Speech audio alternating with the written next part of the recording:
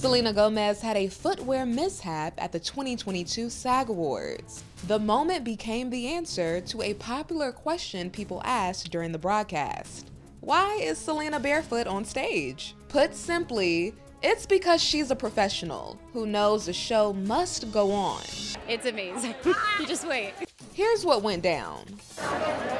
That's Selena stunning in her Oscar de la Renta gown.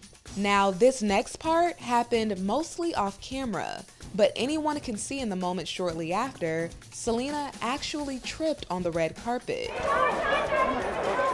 Thankfully, some nearby heroes helped the star get back on her feet, and Selena safely made her way inside, where she was set to present alongside her Only Murders in the Building co star, Martin Short. What a shame the great Steve Martin couldn't join us tonight, for the three of us are really a family and that we often eat meals together in total silence. But her Louboutin pumps were apparently uninvited. I like to, to come at things with my best. Eagle eyed fans immediately noticed Selena was barefoot when she stepped on stage. But the ordeal didn't seem to mess with Selena's comedic timing. Who's excited? I'm excited. Yes, I'm excited too. Although it's hard for me to express my excitement because the Botox is fresh.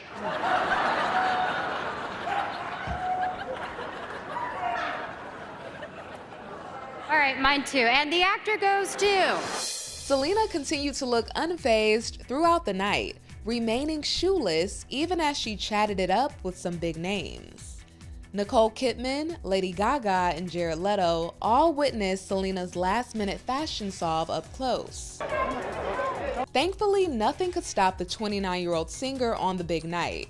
She was also celebrating her first SAG Award nomination, following her performance in Only Murders in the Building.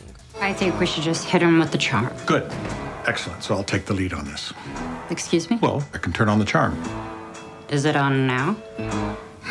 It's just warming up. Selena and the All Star cast earned a nod for outstanding performance by an ensemble in a comedy series. The premiere of season two is still a long way out, but Selena is sharing fun behind the scenes antics like these to TikTok. Steve, um, so how did you get into collecting art? Yep, that's the actress on set trolling her comedy legend co stars. Just check out this epic eye roll. Oh, that's really, really interesting because I started uh, very, very young and I used my eyes to look at art. I didn't know you used your eyes no. that. I thought you, know, you kind of felt it and sensed it. But well, um, that's just with a live model.